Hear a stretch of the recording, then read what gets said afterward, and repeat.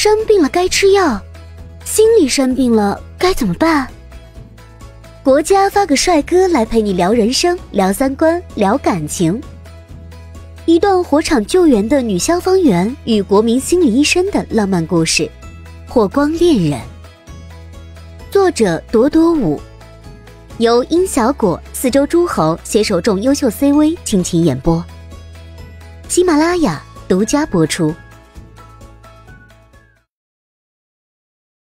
七十八集，唐。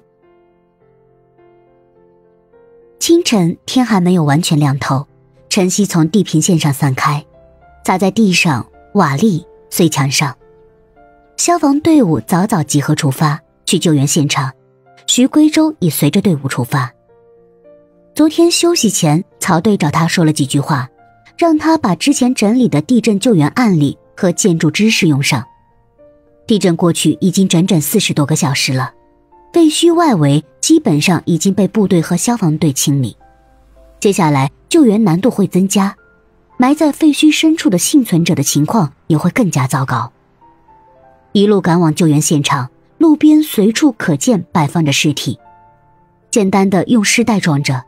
虽然是凌晨四点多，已经有不少人在忙碌，有医生，也有军人。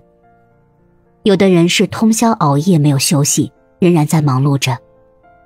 清晨跑了第一个现场，挖掘用了四个小时，救出两个幸存者，其中一个是三岁大的孩子，他被母亲牢牢的护在怀里，除了脱水和饥饿，没有其他受伤的地方。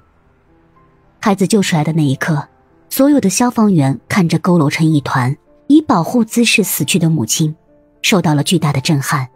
这简直是一个奇迹。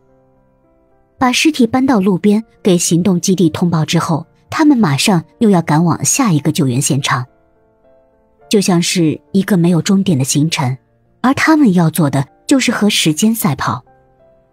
在救援过程中，他们遇见了太多的情况，有惨不忍睹的现场，也有奇迹般生还的幸存者，有的拉住他们嚎啕大哭，为自己的存活，也为亲人的逝去。在短短两天里，生离死别成了最平常的一件事。身边所有的人都在猝不及防的遭遇生死，显示出大自然的天威莫测。曹队带着队伍又跑了一个现场，救出一个手掌压地、粉碎模糊的幸存者。把人交给医疗队的人之后，在现场稍作休息。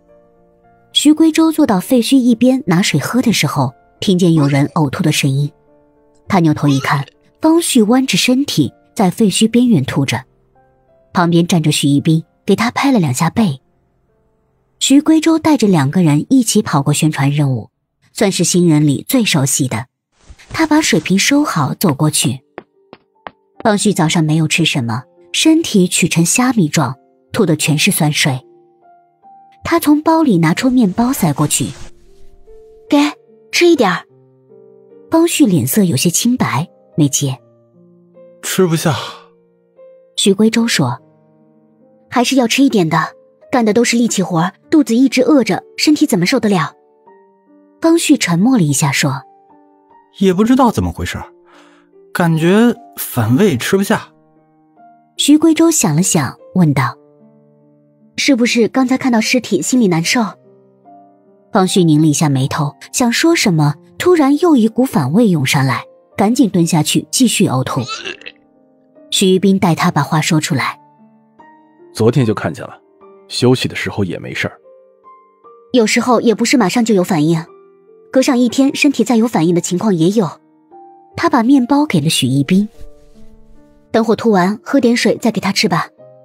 徐一斌接手过来，捏捏面包的塑料袋，不知道想到什么。忽然问：“你以前也有过这种反应吗？”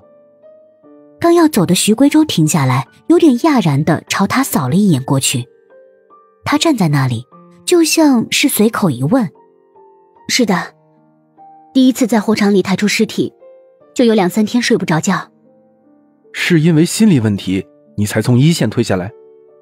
徐归舟暗暗叹气，刚觉得这个年轻人不像以前冷冰冰的。能正常说话交流了，这就来接他的伤口。方旭这个时候站起身，抚着胃转过来。你们在聊什么呀？啊，没什么。徐贵州说，看他脸色发白，有点担忧，走过去伸手摸他的额头。方旭瞪圆了眼，像被定身一样，动都不敢动。徐一斌淡淡的眼神瞥过来，没有发烧。没有，当然没有。徐贵州放下手，方旭脸上有了点气色，马上接口：“小姐姐，我还没那么脆弱呢。”徐归舟笑了一下，这次他负责整个队伍的后勤补给和支撑，对所有队员的身体状况都不能掉以轻心。伸手从口袋里摸出三颗薄荷糖，他放到方旭手里：“来，先漱漱口，等会儿实在吃不下东西就含一片。”方旭呕完，刚觉得胃舒坦了，恢复过来。真把我当小孩子啊，还吃糖？徐归舟叮嘱：“哎，一定要记得吃点东西啊！”说着就走开，去看一下其他休息的年轻队员有没有不适的反应。方旭灌了一大口水漱口，看徐归舟在废墟各处走动，和其他队员说话，他把水吐了出来，说道：“小姐姐真是太暖心了。”和他说说话都觉得很治愈，有没有？哎，你怎么拿我糖？徐一斌从他手里拿走了两颗糖，剥了一颗放进嘴巴里，恰到好处的微甜滋味，还带着一丝凉爽。方旭看着掌心孤零零的一颗，很神：“这可是小姐姐给我的，你还抢？”徐一斌声音四平八稳：“不是给你，是给身体不舒服的人。”我刚好也有点不舒服，方旭无力反驳，赶紧把剩下的一颗吃了。下午集合归队，回到行动基地吃饭休息，大部分人都是饥饿加疲惫交加。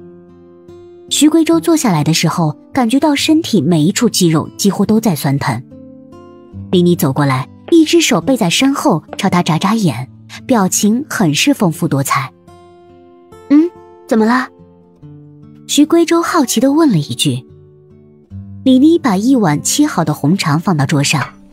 要在平时，红肠是再普通不过的食物，但是两天争分夺秒的救灾，全员上下吃的都是干粮。随着昨天道路打通后，物资不断的补充进来，食物才开始有所改善。但这个时候看到红肠，不能不说是一个惊喜。”徐贵州身体很诚实的拿起一片夹到面包里，可以呀，可以吃上肉了。李妮笑眯眯的说：“知道谁拿来的吗？谁呀？杜医生。哦，哪个杜医生？”